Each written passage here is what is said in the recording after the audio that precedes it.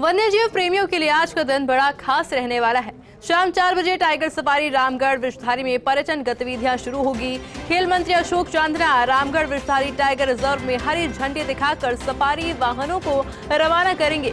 दलेलपुरा से टाइगर हिल तक के करीब 10 किलोमीटर लंबे रूट पर सफारी शुरू होने जा रही है और आज से यहाँ पर बफर के एक रूट पर सफारी शुरू की जा रही है। अक्टूबर से दो अन्य रूट पर भी सफारी कराई जाएगी। वन विभाग के अतिरिक्त मुख्य सचिव शिखर अग्रवाल पीसीसीएफ हाफ़ मुनेश गर्ग मुख्य वन्य जीव प्रतिपालक अरिंदम तोमर और रामगढ़ विषधारी टाइगर रिज़र्व के डीएफओ संजीव शर्मा की इसमें महत्वपूर्ण भूमिका रही है। बता दें कि 16 मई को पिछले वर्ष इस टाइगर रिज़र्व की अधिसूचना जारी हुई थी और उसके बाद महज दो महीने में यहाँ बाघिन को शिफ्ट कर दिया गया। रणथंभौर से यहाँ खुद चलकर आया बाघ टी वन वन फाइव पहले से मौजूद था और उसके बाद पिछले वर्ष 15 जुलाई को बाघिन टी वन ज़ीरो टू का यहाँ पर शिफ्ट किया गया था। सूत्रों का कहना है कि बागिन यहाँ शावक भी डिलीवर कर सकती है।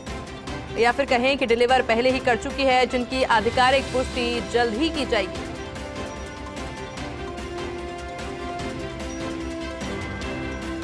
और इसी खबर पर अधिक जानकारी के लिए हमारे साथ न्यूज़ रूम से ब्यूरो चीफ निर्मल तिवारी भी जुड़ चुके हैं। निर्मल जी, क्योंकि देखिए, सफारी की आज से शुरुआत होने जा रही है। क्या कुछ खास रहने वाला है?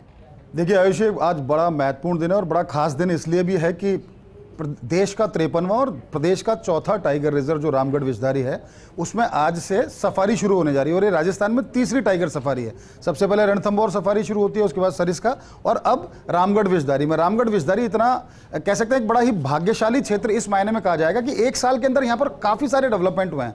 मुझे ध्यान है, पिछले साल सोलह मई को जब इसकी अधिसूचना जारी की गई थी टाइगर, बतौर टाइगर रिज़र्व, और उसके ठीक दो महीने बाद ही, यानी पंद्रह जुलाई को यहाँ पर एक टाइग्रेस की रिलोकेशन भी कर दिया गया था, उसको ट्रांसलोकेट कर दी गई थी वहाँ। क्योंकि टी एक सौ पंद्रह नाम का जो टाइगर था खुद रणथम्बोर से चल के रामगढ़ विजदारी पहुँच गया था, और जब बागिन टी एक सौ दो को जब वहाँ, अब इस समय जो टू के नाम से वहाँ जानी जाती है, उसको वहाँ शिफ्ट किया, दोनों के बीच में उनका जोड़ा बनाया गया, और अच्छी खबर यह भी है कि दोनों ने मैटिंग की, और मैटिंग के परिणाम यह है कि उसने दो शावकों को डिलीवर किया। हालाँकि इसकी वन विभाग अभी पुष्टि नहीं करता, लेकिन कहा जा रहा है कि कुछ दिनों में जब वो दोनों शावक साइट होंगे तो निश्चित तौर पर उनकी कैमरा ट्रैप की फ़ोटोज़ को सार्वजनिक भी किया जाएगा। लेकिन आज का दिन इसलिए महत्वपूर्ण है, आयुषी, कि प्रदेश की तीसरी टाइगर सफारी शुरू हो रही है, जो बफर जो एक रूट तैयार किया है, खासकर दलेलपुरा से लेकर टाइगर हिल तक, बांदा पोल, मेज नदी का जो पूरा क्षेत्र है, इतना सुरम्य, इतना शानदार, इतना खूबसूरत जगह है कि वहाँ जब पर्यटक पहुँचेंगे तो निश्चित तौर पर उनको आनंद का अनुभव होगा। तो आज शाम को चार बजे खेल और युवा मामला के जो मंत्री अशोक चांद्रा इसका उद्घाटन करेंगे। वहाँ पर जिला कलेक्टर बूंदी के बूंदी के जो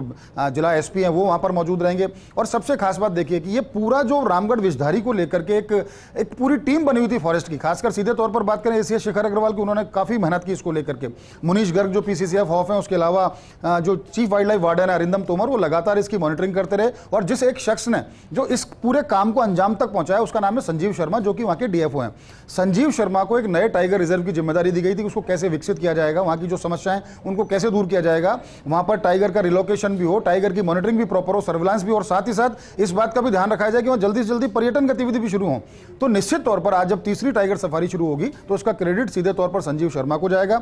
आधा दर्जन से ज़्यादा जो पर्यटक वाहन है, उनको वहाँ पर अभी तक रजिस्टर कर दिया गया और उम्मीद की जा रही है कि हालाँकि एक जुलाई से प्रदेश के अंदर जितने भी टाइगर रिज़र्व हैं, उनमें पर्यटन गतिविधियाँ बंद हो जाती है। मानसून ब्रेक आ जाता है तीन महीने का, क्योंकि रास्ते खराब हो जाते हैं, पर्यटकों को उससे दूर रखा जाता है। तो अक्टूबर में जब वापस से शुरुआत होगी टाइगर सफारी की तो निश्चित तौर पर मानिए आज जो एक रूट शुरू हो रहा है, ये एक की जगह दो और रूट इसमें जुड़ जाएँगे और तीन सफारी रूट रामगढ़ विषधारी के अंदर देखने को मिलेंगे। तो कहा जा सकता है कि जो पर्यटक हैं, वन्यजीव प्रेमी हैं, उनमें एक बड़ा उत्साह का माहौल है। उनके पास अभी तक दो ऑप्शन हुआ करते थे टाइगर सफारी के नाम पर। वो पहले तो रणथम्बोर जाना या उनको सरिस्का जाना। लेकिन अब तीसरा उनके पास विकल्प है, वो विकल्प है रामगढ़ विषधारी का। बूंदी और कोटा के बीच का जो ये पूरा क्षेत्र है, खासकर क्योंकि एक ऐसा वृहद कॉरिडोर बन गया है। अगर हम सीधे तौर पर बात करें राजस्थान के अंदर धौलपुर, करौली से लेकर इधर टोंक, सवाई माधोपुर, उसके बाद बूंदी बूंदी के बाद सीधा कुंभलगढ़ तक का जो पूरा क्षेत्र है, खासकर मुकंदरा हिल्स टाइगर रिज़र्व के बाद, और उम्मीद की जा रही है कुंभलगढ़ में भी जल्दी ही उसको भी टाइगर रिज़र्व के तौर पर अधिसूचित किया जाएगा, क्योंकि धौलपुर टाइगर रिज़र्व जल्दी ही अधिसूचित होने वाला है। तो एक पूरा एक ऐसा वृहद टाइगर कॉरिडोर बन गया है, जहाँ पर नेचुरल हैबिटाट के अंदर जो टाइगर्स हैं, उनका मूवमेंट वहाँ देखने को मिलेगा। वहाँ शोधकर्ता पहुँचेंगे, वहाँ वन्यजीव प्रेमी पहुँचेंगे, वहाँ पर्यटक पहुँचेंगे, और देखिए अच्छी बात, खास खासकर क्या है रामगढ़ विषधारी की कि रामगढ़ विषधारी में आप बाघ तो देखेंगे उसके अलावा वहाँ प्रे बहुत अच्छा है। वहाँ पर आपको स्पॉटेड डियर्स भी मिल जाएँगे। वहाँ पर आपको चौसिंगा भी मिलेगा। वहाँ पर आपको ब्लू बुल भी मिलेंगे। वहाँ पर वाइल्ड बोर्ड्स भी वहाँ पर है। वहाँ जैकॉल फॉक्स और तमाम तरह का जो एक फ्लोरा और फोना है वहाँ का, वो इतना रिच है कि वहाँ जो भी पर्यटक पहुंचेगा, निश्चित तौर पर वो वहाँ लुत्फ उठाएगा, उसका, उसको आनंद की अनुभूति होगी और अपने जेहन में वहाँ से जब वो निकलेगा तो एक बहुत शानदार यादें भी लेकर जाएगा। तो सबको शुभकामनाएँ आज पूरी फॉरेस्ट टीम को एंटायर फॉरेस्ट टीम को। वन मंत्री हालाँकि इस कार्यक्रम में शामिल नहीं हो रहे हैं इमरान चौधरी जी, लेकिन वो लगातार सतत मॉनिटरिंग करते रहे। लेकिन शिखर अग्रवाल, मुनीश गर्ग, अरिंदम तोमर और संजीव शर्मा, ये चार जने ऐसे थे, चार लोग ऐसे थे, चार अधिकारी ऐसे थे, जिन्होंने सबको मुमकिन कर दिखाया है। तो बहुत सारी, ढेर सारी शुभकामनाएँ उम्मीद की जानी चाहिए कि आज जो सफारी शुरू हो रही है, ये बहुत आगे तक जाएगी, नए रूट्स जुड़ेंगे और पर्यटकों की संख्या वहाँ पर जो वाइल्ड लाइफ टूरिज़्म के लिए पहुँचेंगे, उनकी लगातार बढ़ती रहेगी। आयुषी। और बिल्कुल निर्मल जी, देखिए, पर्यटकों के लिए तो एक खुशखबरी है वन्य जीव प्रेमियों के लिए भी खुशखबरी है, पर ऐसे में देखिए, राजस्थान में भी पर्यटन को बढ़ावा मिलेगा। टिकट के प्राइसेस को लेकर भी एक अपडेट आपसे जाएँगे। देखिए टिकट के प्राइसेस बहुत सामान्य जो इंडियंस है उनके लिए सात सौ अस्सी रुपये और जो फॉरेनर्स है उनके लिए ग्यारह सौ और कुछ रुपए उसका प्रावधान वहाँ पर किया गया। टिकट मायने नहीं रखता है इसमें। इसमें मायने ये रखता है कि जब आप जाओ वाइल्ड लाइफ को देखो क्योंकि कई लोग क्या टारगेट करके ये जाते हैं कि मेरे को टाइगर रिज़र्व में जा रहे हैं तो टाइगर देखना है। आपको इस टारगेट से हटना पड़ेगा। टाइगर रिज़र्व में जा रहे हो सिर्फ़ टाइगर ही नहीं देखना है। आपको वहाँ पैंथर भी देखेगा। वहाँ पर आपको डियर फैमिली के भी तमाम जो सदस्य हैं वो भी वहाँ पर दिखेंगे। वहाँ पर जैकॉल फॉक्स हैं ढोल हैं तमाम पॉर्क्यूपाइन है बहुत सारे ऐसे जंगली जानवर होते हैं। उसके अलावा बहुत सारी चिड़ियाँ हैं बर्ड्स की हम बात करते हैं तो 200 से ज़्यादा किस्म की माइग्रेटरी बर्ड और लोकल बर्ड्स वहाँ पर देखने को मिलती हैं। तो पर्यटक जब जाए तो इस बात को अपने जहन में लेके जाए कि जंगल की खूबसूरती को निहारे ऑक्सीजन लेने की कोशिश करें वहाँ वहाँ का जिस तरह का हर्बी वॉरस है वहाँ का वहाँ जिस तरह के। कॉर्निवोर रहते हैं तो निश्चित तौर पर एक बड़ी ही रिच वहाँ पर वाइल्ड लाइफ है और उम्मीद की जानी चाहिए कि वाइल्ड लाइफ टूरिज़्म बहुत जल्दी वहाँ पर चरम पर पहुंचेगा क्योंकि एक साल में जब अधिसूचना जारी होने से लेकर टाइगर रिलोकेशन से लेकर और वहाँ सफारी शुरू हो जाती है तो उम्मीद की जानी चाहिए वहाँ टाइगर फैमिली का भी लगातार विस्तार होगा और टाइगर टूरिज़्म का भी। और बिल्कुल निर्मल जी आपका बहुत बहुत शुक्रिया हमारे साथ जुड़ने के लिए और तमाम जानकारी हमारे साथ साझा करने के लिए।